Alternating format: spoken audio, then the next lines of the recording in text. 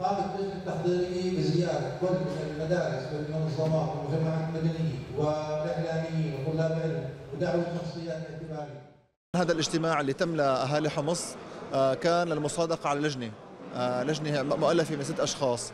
تم انتخاب هذه اللجنة بطريقة شرعية آه، حيث إنه من فترة تم دعوة جميع الجهات الفاعلة بحمص بحيث إنه كل جهة فاعلة تنتدب عنا أخ.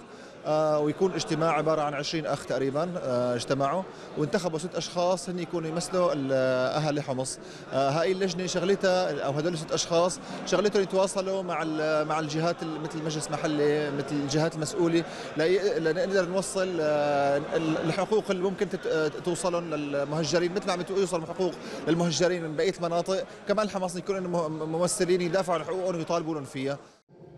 لجنة ممثل لمدينة حمص ومنها الانطلاق للتعاون مع الريف والتعاون مع باقي وضع المهجرين بشكل عام في مدينة حمص يعني وضعهم مأساوي.